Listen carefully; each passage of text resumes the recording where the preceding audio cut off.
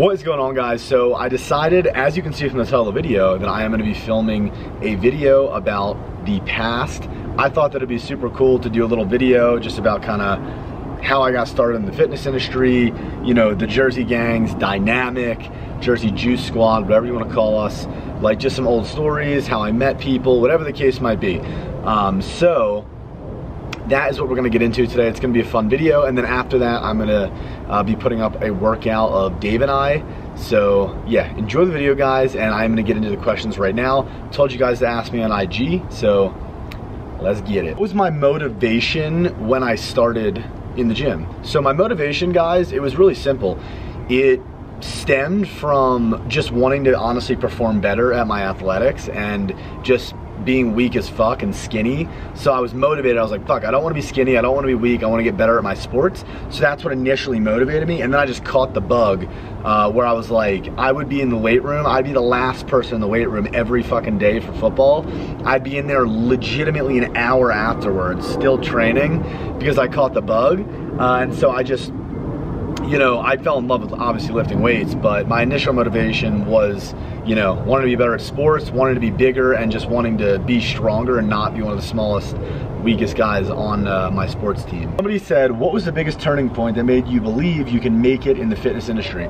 So, the biggest turning point, I would say, okay, when I made my own YouTube channel, okay, and I started, you know, I got all this support on YouTube, I was like, wow, you know, I think I can make something out of it because at first on Instagram, I was like, oh, you know, I'm getting some followers. I have like 10K, but it's just, you know, you can't really, you know, you can't always just make something out of like a little tiny amount of followers on Instagram. So I thought to my, so I thought, when my YouTube started blowing up and taking off and I wasn't just on Dave's videos anymore, I was like, I know I can make something out of this because, you know, I have a close grit, I have, I have a close uh, knit community of people, you know, that are fucking with my stuff that come to me for knowledge, come to me for information, entertainment, so I can make something out of it. And I would say, I, I literally, I uh, borrowed like $1,300 off my friend to get a used Mac, gave him $100 in uh, interest essentially so that I could get this Mac a week before I got a paycheck from my car wash job at work. So that's, you know, I basically was working at a car wash.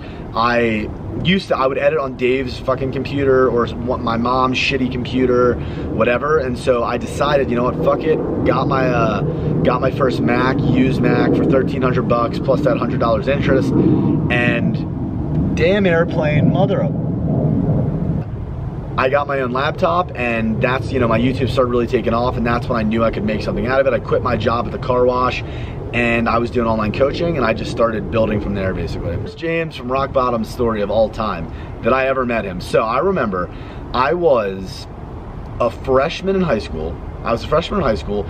It was when I just started getting into the gym. So it was like the end of my freshman year. I was probably 16 at the time or 15, right? I was a freshman in high school, and all the kids on my football team would always talk about this supplement called Double Dragon. It was a pro hormone at the time. I don't even think you could fucking get it anymore, but it's a pro hormone, a really potent one. And everyone would get it at rock bottom. Like this is where people would get pro hormones, get uh, Double Dragon, right? So uh, essentially, what I did was I rode my bike like three miles to rock bottom. I kind of I kind of walk in the door, I'm like snooping around, like, what the fuck's going on in here? Like James was talking to um, one of our friends, his name, what we call him K, and uh, And our friend Kay was in there. He's a big ass motherfucker. He's also an IFBB pro. So they were in there talking. I just kind of walk in. I'm kind of a little awkward, like looking around at the protein, like, oh, like, whatever. Like, and then I fucking walk up to the counter. I'm like, uh, you know, asking about all the pro hormones, asking all these questions. Like, I fucking wanted to buy it, but I was kind of too scared. I'm kind of, I'm trying to make James, like, talk me off the fucking ledge and just, oh, there's no health problems, just buy it. Uh, and I ended up being scared as fuck, and I didn't buy anything, but I went in there, and that's when I talked to James, and I was talking about pro hormones and all this shit. And that's kind of when my relationship with James started because I was asking a bunch of questions, looking at different supplements in the store.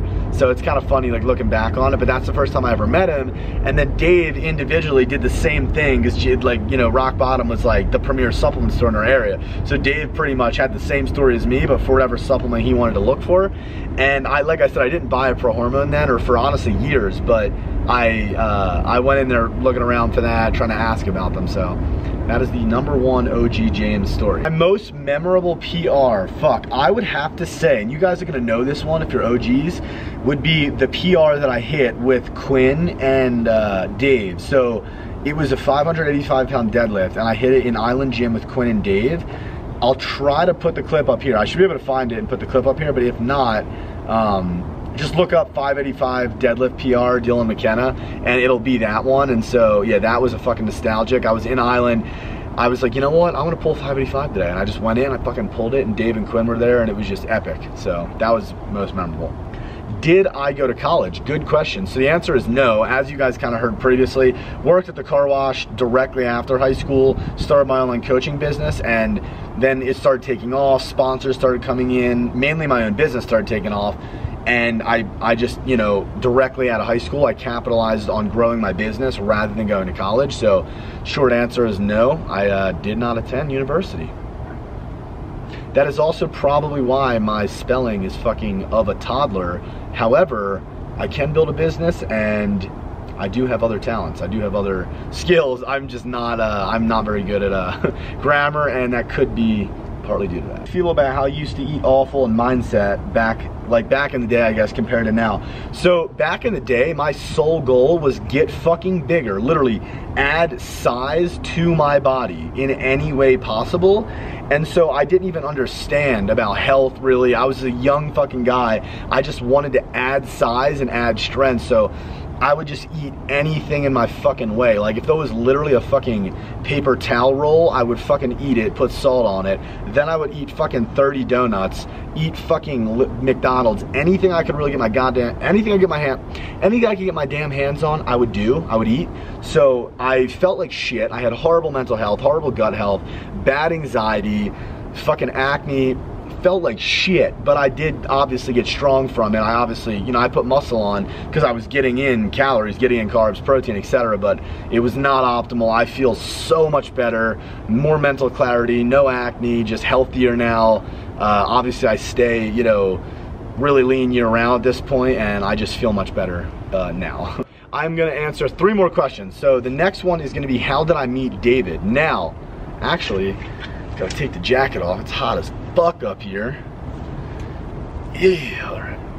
So, I met, how did I meet Dave? I met Dave because everyone my freshman year of high school, or sorry, sophomore year when I came back to high school was like, dude, like everyone knew that I lifted weights. So like, have you heard of this kid, David Laid? He's big, he lifts weights, all this stuff. So who the fuck is this kid? Who is this guy? So I see him in the hallway one day and I'm like, okay, this is this dude. So I, then I became friends with a friend of his who also lifted. And then through that mutual friend, me and Dave just met in school one day and we talked and then we ended up uh, scheduling like a gym workout. So we ended up lifting together one day and that's when we like really got to know each other. And I remember we basically lifted at Island Gym and then we walked to his old house, which was literally right near Island Gym. His mom owned the house at the time. It wasn't when he was renting it. His mom owned it at the time and was living in it. And I remember meeting like his mom and uh, his little brothers were in there like fucking jumping all over me. And uh, yeah, we just kind of hit it off. I think we like ate some food there. And then from that point on, we just became best friends ever since. Like every day we started, you know, texting, hanging out, training. We were both so, so, so into the fucking gym to the point where like, we just hit it off because that's all we wanted to do and talk about and no one else that we knew wanted to talk about the gym or gave a fuck about the gym like we did so it was like it was nice in a sense to have a friend that was on the same page so that's kind of how we met. Next one is how did I meet Quinn? Now, this is a great question.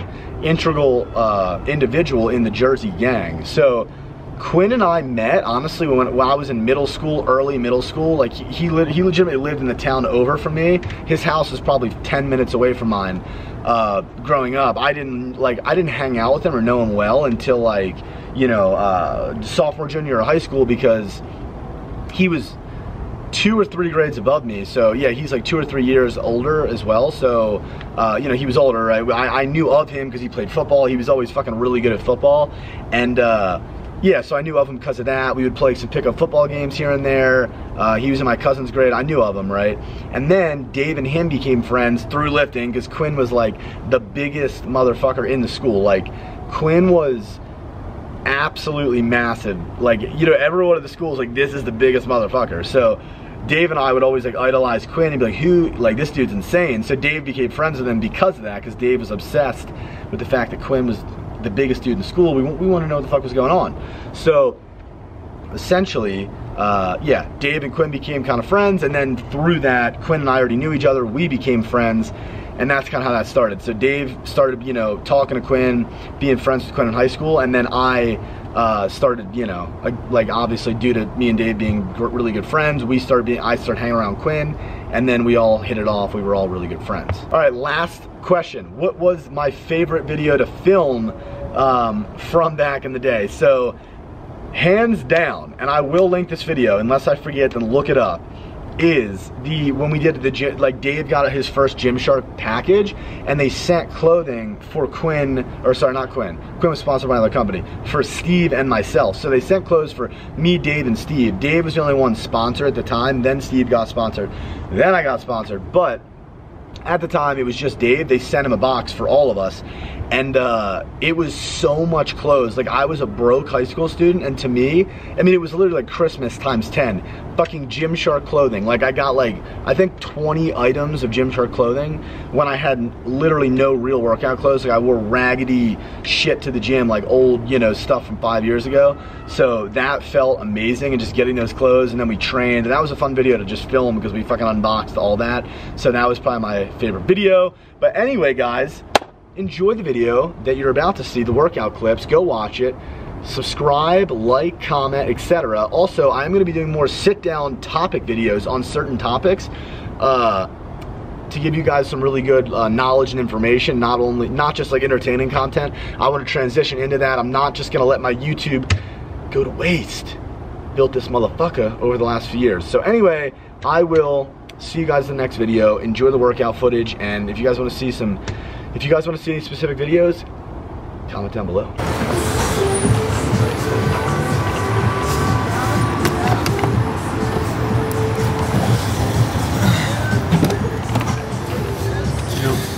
Mr. Cheddar.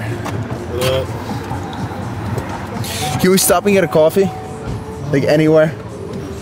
Yeah, there's like probably a gas station right near the gym. Super gas station? That's gross. Let's get like a Starbucks. You just pull up to Starbucks. Starbucks, I'll run in. Yeah. I just need you think Starbucks is better than a gas station? It's not. Well, I've been bro- programmed and conditioned by their marketing, yeah, by their reptilian better. marketing team Star- think so. I mean, uh, Dunkin' Donuts is a lot better. I'll do Dunkin'. I'll do anything. You want like, uh, like I don't know where there is like one. I'm pretty sure Dunkin' actually closes at like four. I don't know. We'll